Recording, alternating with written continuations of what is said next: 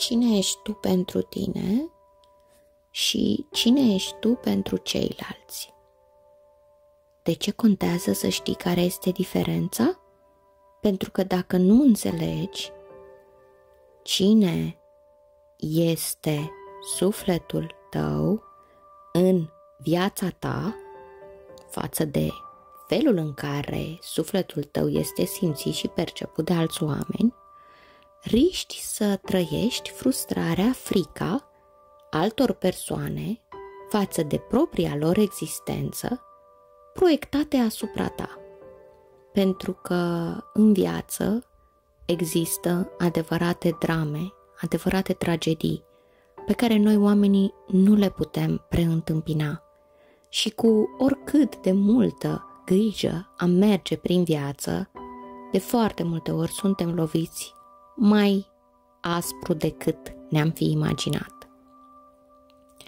Și totuși, una dintre marile tragedii ale vieții și una dintre morțile emoționale care distrug fără milă orice încredere sau speranță, este părerea altor oameni despre noi, preluată în viețile noastre drept adevăr, drept ghid.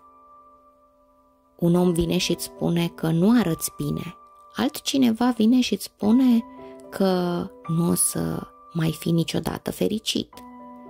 O altă persoană râde de sufletul tău, care uneori poate iubește mai mult decât ceilalți și-ar dori. Câteodată ești prea bătrân, altădată ești prea tânăr. Întotdeauna însă există cineva sau ceva nemulțumit de propria persoană și pentru că nu poate să își recunoască asta, spune că tu ai o problemă. Și noi, oamenii, purtătorii acestui suflet atât de sensibil, ce facem? Luăm tot ceea ce durerea altor oameni strigă prin cuvintele lor și îi punem în cârcă sufletului nostru și îi spunem că așa este el, cum îl văd alți oameni. Ce mare minciună! Cum am putea vreodată să fim ceea ce simțirea altui om alege să trăiască despre noi.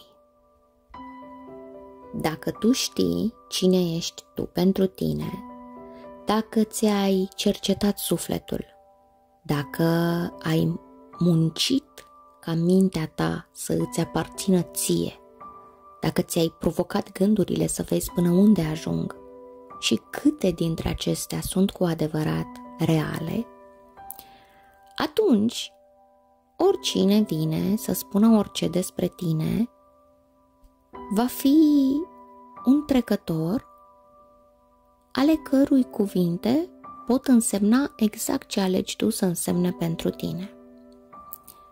Dacă în schimb tu nu știi cine ești, dacă în schimb tu ești rănit, și ești neștiutor și ți este teamă de tine, îți este rușine cu tine și nu te crezi tu pe cuvântul simțirii și gândirii tale, fiecare pas al tău va fi spre o veșnică dezechilibrare emoțională.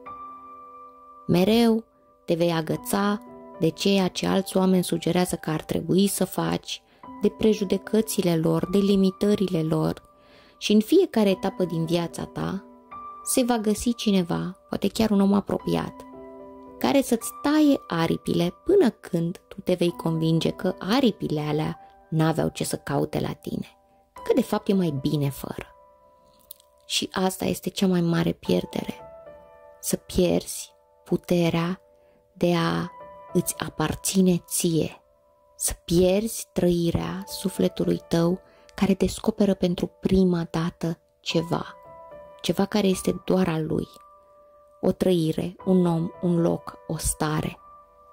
În clipa în care tu consideri că este treaba altor oameni să te educe, să te ghideze și să îți spună cine ești, deja viața ta o ia într-o direcție greșită. Pentru că fiecare persoană din viața noastră poate să ne sprijine, poate să ne ajute, poate să facă lucruri extraordinare pentru noi și de multe ori noi singuri nu putem, nu mai putem, nu mai suntem în stare, dar tot ajutorul pe care îl putem primi trebuie să avem unde să îl depozităm în trăirea noastră și asta înseamnă că trăirea trebuie să fie liberă, ușoară, curățată de paradigmă plină de ură și frică. De aceea, toată viața aceasta ne suntem datori în fiecare zi să ne mai răspundem un pic despre cine am mai devenit, să mai fi învățat ceva despre sufletul nostru și da, să ne fi educat noi pe noi înșine cu privire la orice aspect, pentru că de acolo vine adevărata fericire, din ceea ce tu, ca ființă umană, poți să îți oferi atunci când poate cineva care era important pentru tine nu mai este în viață, atunci când ai fost trădat sau abandonat sau neglijat. Și multe persoane zic, ce contează un moment sau o privire pe care eu o arunc către sufletul meu dacă sufletul meu a fost abandonat și trist atât de mult timp. Cu ce pot eu să schimb viața mea acum? Adevărul este că sufletul ne așteaptă de când ne naștem și până murim să îi aruncăm acea privire, ca să realizăm în acel moment că de fapt el ne-a privit tot timpul cu aceeași iubire și că a așteptat doar să fie descoperit de noi, pentru că, vedeți, sufletul este atât de înțelept. El nu îți cere să-l vezi decât dacă tu îl alegi. Și el nu îți cere să îl faci important în viața ta, decât dacă tu vrei asta. Și trecem zi de zi pe lângă atât de mulți oameni care nu au această curiozitate să vadă ce e dincolo de această carcasă, ce e dincolo de ceea ce se vede.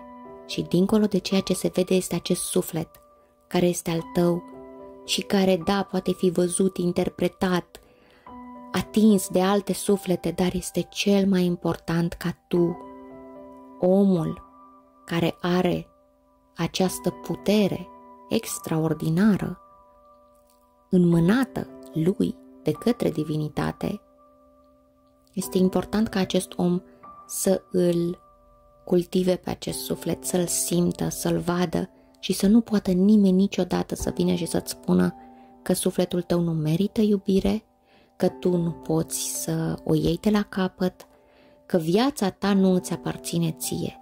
Pentru că atunci când dai cheia vieții tale altor oameni, nu au cum să știe ce are cu adevărat nevoie sufletul tău. Și dacă tu începi să îi dai acestui suflet ceea ce are nevoie de la tine, vei începe să trăiești în viața ta ceea ce poate ți-ai dorit mereu, dar nu ai știut că este acolo pentru tine, și anume starea de fericire.